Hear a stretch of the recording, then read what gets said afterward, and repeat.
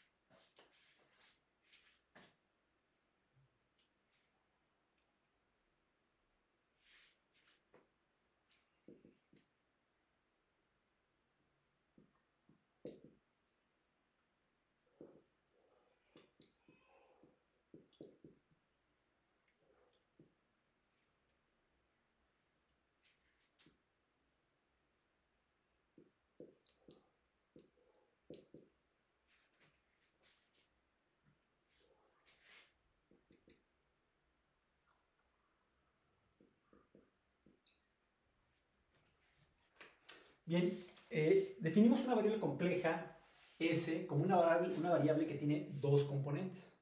Una parte real, si la variable se descompone en una parte real y una parte imaginaria.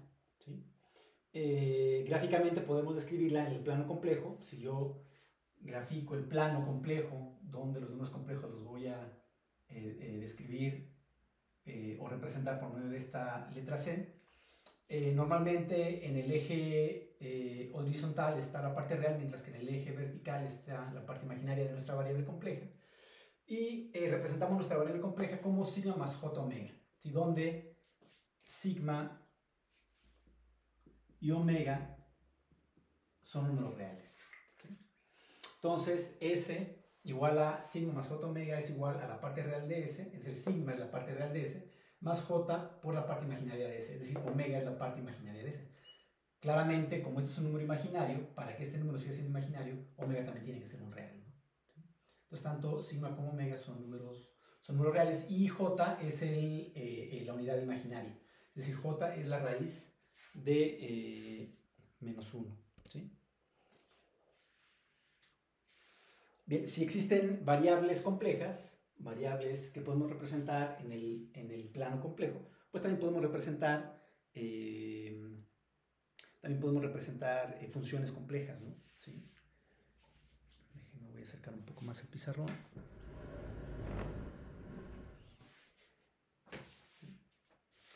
Muy bien.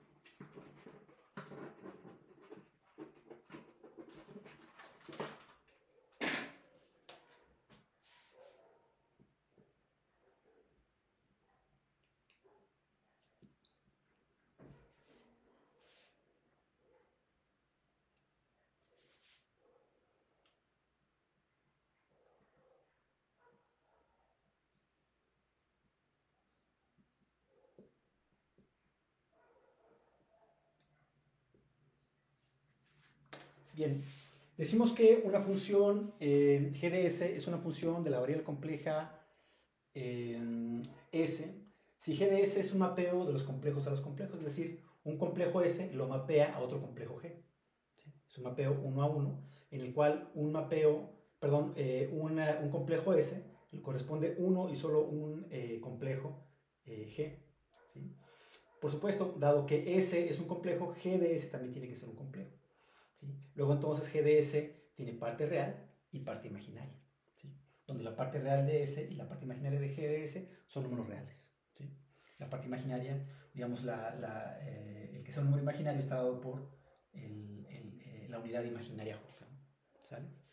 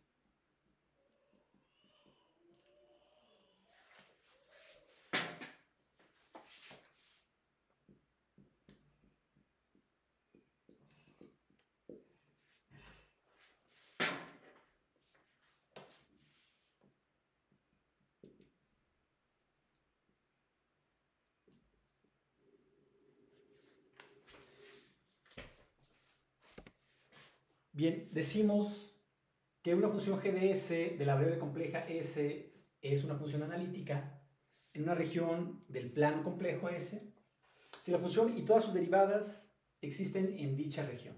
¿sí? Tomamos una región del plano, eh, del plano complejo y en esa región en particular esa función existe, está definida y también todas sus derivadas están definidas.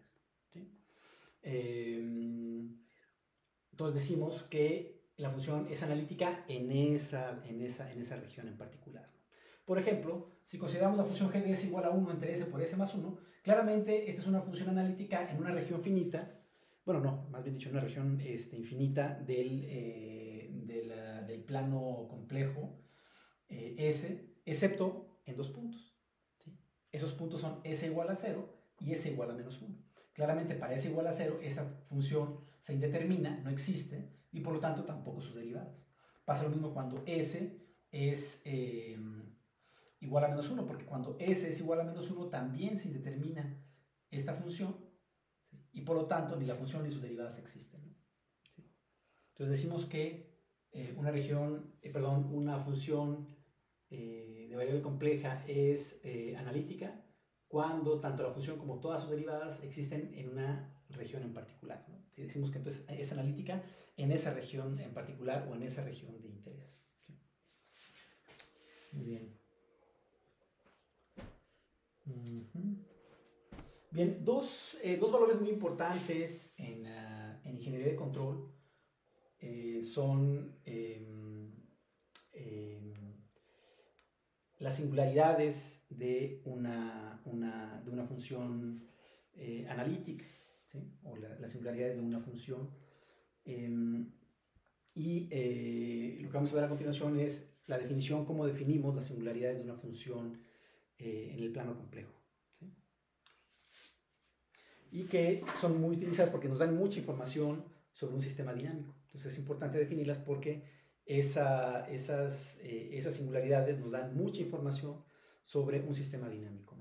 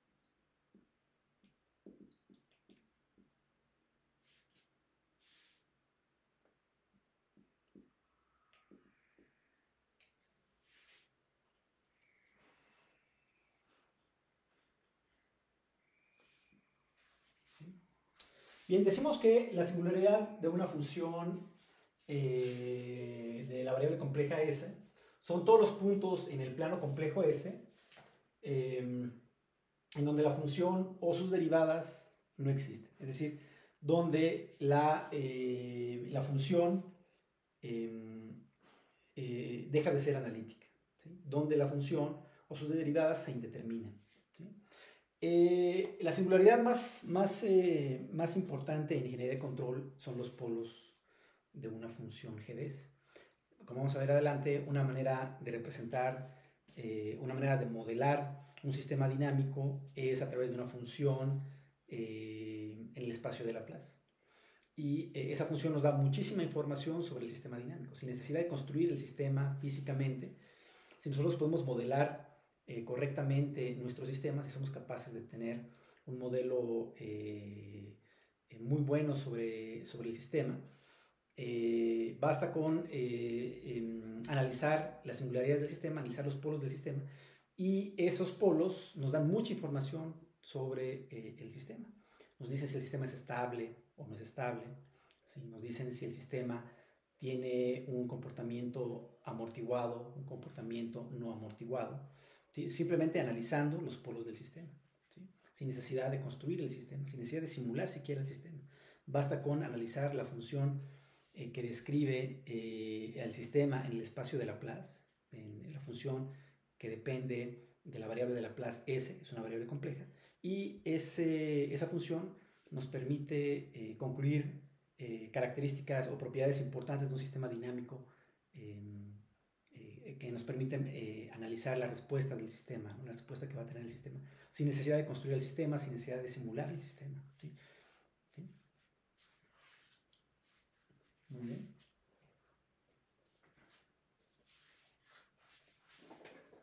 Entonces vamos a definir ahora qué es un polo.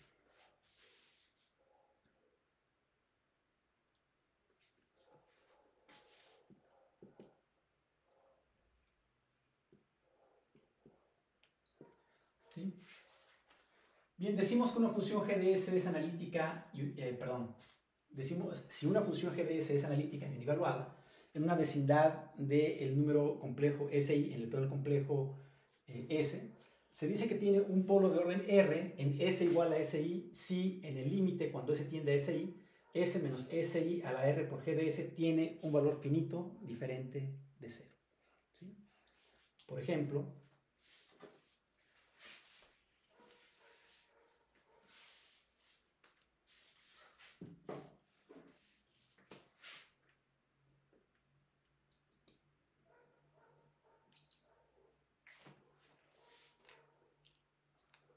consideremos la función GDS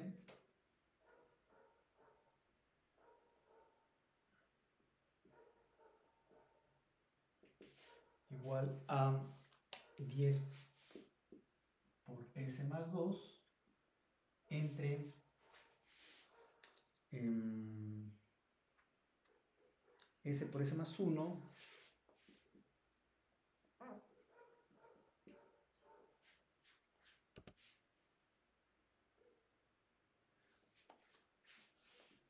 S más 3 al cuadrado.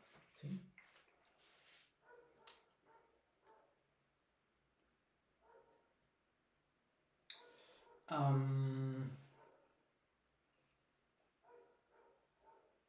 entonces, por ejemplo, si consideramos el valor de s igual a, em, a 2, por ejemplo, consideremos un primer caso.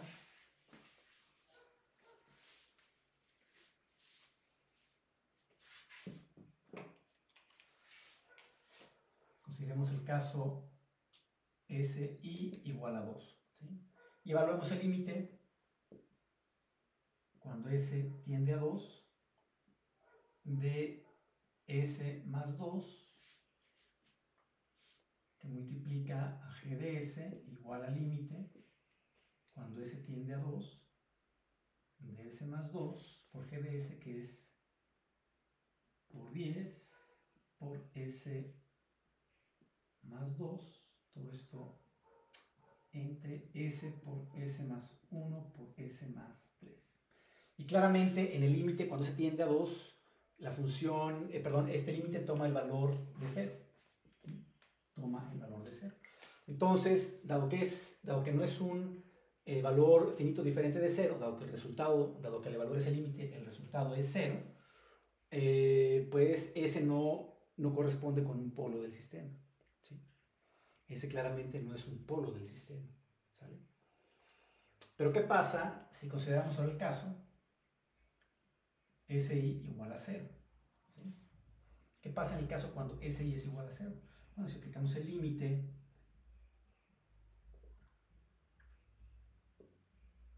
cuando S tiende a 0 de S por G de S, pues esto es igual al límite cuando S tiende a 0, de S por 10 por S más 2 entre S por S más 1 por S más 3.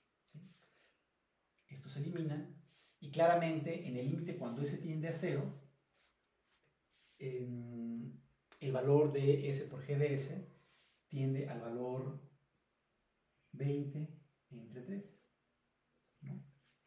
que es un valor finito diferente de 0. Entonces, S es un polo, dado que el límite es, finito diferente de 0, eh, S igual a 0, eh, si es un polo del sistema. Y se dan cuenta, los polos, o en este caso, eh, este polo, hace que la función g de s se indetermine, deje de existir, deje de ser analítica. Para S igual a 0, la función g de s deja de ser analítica.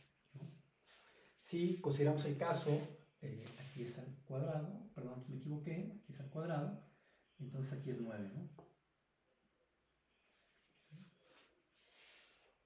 Si consideramos el caso SI igual a, eh, a 1, ¿sí? entonces el límite cuando S tiende a, a 1 de S por G de S igual al límite cuando S tiende a 1, eh, perdón, de S, eh, S más 1 por G de S, y esto es S más 1 por 10 por S más 2 todo esto entre S por S más 1 por S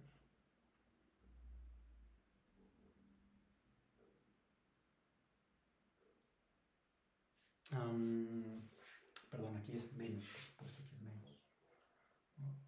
Aquí es menos. Em, aquí es, consideramos el valor SI, perdón, SI igual a menos 1. Entonces, si S tiende a menos 1, entonces S menos SI es igual a S eh, más 1. Todo esto entre S por S más 1 por S más 3 al cuadrado. Entonces, el límite es S menos SI. Entonces, claramente S menos SI, cuando SI tiende a menos 1, si consideramos el valor de SI igual a menos 1, no a 1, me equivoqué. Eh, si consideramos el valor SI igual a menos 1, entonces S menos SI es eh, S más 1 eh, multiplicado por g de s, pues es s más 1 por 10 por s más 2 entre s por s más 1 por s más 3 al cuadrado.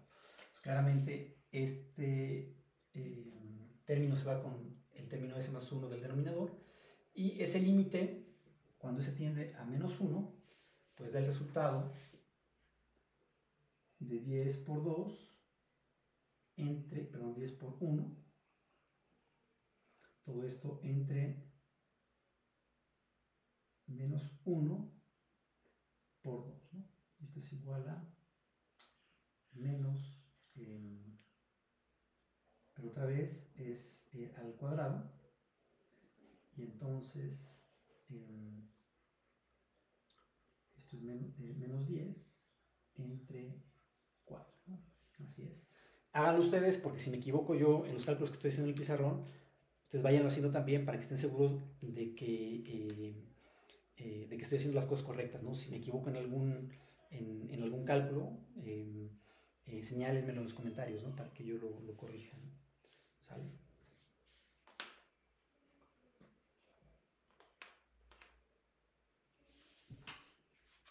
Muy bien. Entonces, el valor del límite, cuando S eh, tiende a menos 1 de S menos SI por G de S, es un valor finito, diferente de 0, igual a menos 10 entre 4. Por lo tanto, SI igual a menos 1 también es un, eh, también es un, eh, es un polo del sistema. Y claramente lo que vemos es que para S igual a menos 1, GDS se indetermina. La función GDS no es analítica. El valor S igual a eh, SI igual a menos 1. Entonces lo que podemos ver es que los polos del sistema son los valores en el plano complejo S donde la función no es analítica, donde se determina la función, donde la función deja de existir. Em, un último ejemplo, si consideramos SI igual SI igual a menos 3, entonces el límite cuando S tiende a menos 3 de S menos SI sería S más 3 pero ahora déjenme considerar r igual a 2. Entonces sería s más 3 al cuadrado. por g de s, claramente en los otros ejemplos era igual a 1. ¿sí? Em, y esto es igual a s más 3 al cuadrado que multiplica a 10 por s más 2. Todo esto entre s por s más 1 por s más 3 al cuadrado. ¿Sale? Y em, este término, ah, perdón, ese límite, ¿no? Ese límite cuando s tiende a menos 3.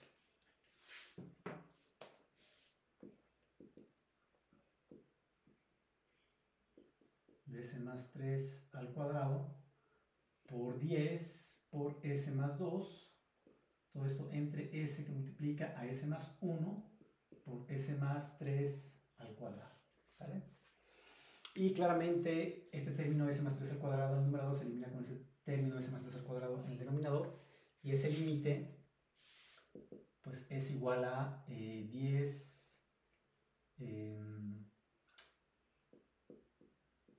10 em, por eh, menos 1 entre menos 3 que multiplica a menos 2. ¿no? Y esto no es más que menos 10 entre 6. ¿no? Otra vez es un número finito, eh, diferente de 0. Eh, al evaluar el límite lo que encontramos es que ese límite es un número, eh, nos, nos, da un valor finito diferente de 0. por lo tanto, SI igual a menos 3 es un, es un, es un polo del sistema, ¿no? es un polo, perdón, no del sistema, es un polo de la función GDS. pero con la característica de que es un polo con